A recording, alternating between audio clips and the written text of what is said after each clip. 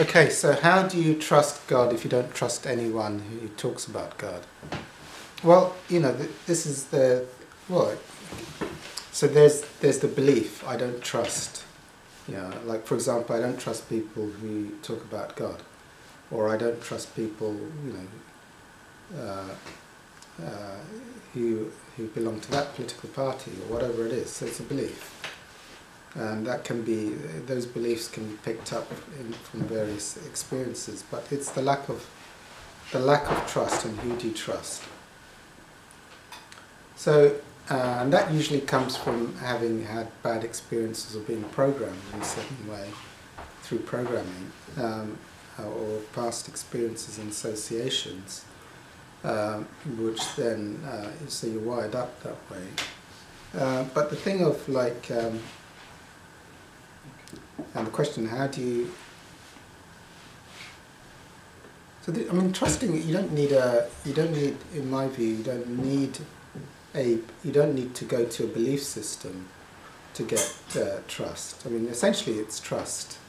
Yeah, you can, the, I mean, the, lack, the word God, if you let go of the word God and let go of the word belief in trusting in people, then uh, how do you get to the place of trust?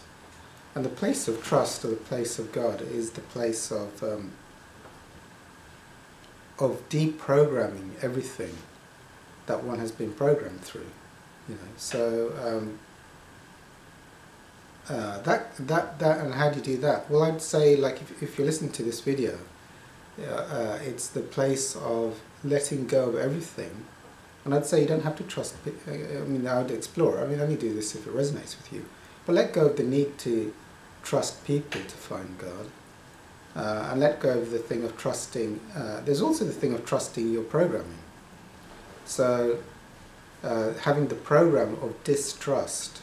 So, if you just work on letting that go, not, I mean, you know, and I will also say, I mean, yes, I can, I can buy in the programming of distrusting people or distrusting people talking about God, but I'm talking about getting to a place within yourself without using people of trust. You know, so in order to get to a place of trust within yourself, you'd have to let go of the belief in distrust. Uh, so you just uh, so you let you're letting go of that thought, that program, uh, and you're letting go. Uh, I would let you can also let go of the need to trust people, or even people who talk about God, uh, because if you hold the belief that I distrust, whether it's a person or yourself, because also to hold the thing of you know you could say what goes out goes in. So if you distrust people talk about God, you're also having a limiting belief in distrust. So if you have a limiting belief, if you believe, so you're actually having faith in distrust. You know, so that's the limiting belief. So you're never going to get to a place of the innocence of trust if you're holding to that. So I would say, uh, if this makes sense, let go of the belief in distrust, the limiting belief, or cancel the belief in distrust. Uh, I'm not saying that you should trust people who talk about God. Uh, and then it's getting to that place of um, presence, which is unsullied by limiting beliefs, uh, which is beyond uh, trusting in people or trusting in your ego, trusting in your ego's limited ideas.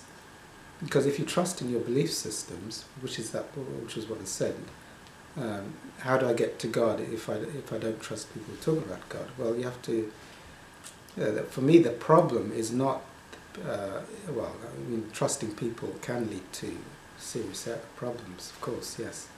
I'm not disagreeing with that, but also trusting your thinking and your limited programming can lead to problems. So I'd say, like, that's the more core problem, is it's more intimate than uh, even outside people how you get to because why why do you want to trust people?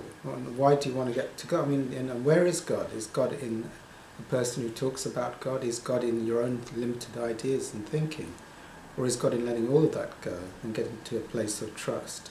Trust, I would say, is emptiness or letting go of all limited ideas which block you off from the innocence, the infinite presence that you are which is uh, beyond, all limited ideas, thoughts, all faith in thoughts and faith in bodies and faith in all kinds of projections. So, if and now how would you get that without you know, I mean, uh, if you listen to the video, I mean, it's a place of intuitiveness. You know, does this intuitively in your heart, shall we say, beyond your thoughts, in your deepest, limitless self, does it intuitively make sense to drop everything and experience? And is that a place that's worth trusting? Or do you want to trust your limited ideas and programs that you've taken on board? And I'm not saying you should trust pe- people necessarily. So that would be, because for me, the thing of distrust and trust is that, you know, I think the implication is someone wants to get to a place of freedom.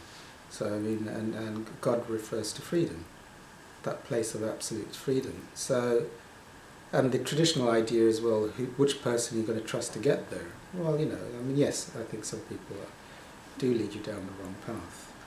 But then also, I think your programming can also lead you into prison as well. Mm. Well, and Mm. your experiences can lead you into prison.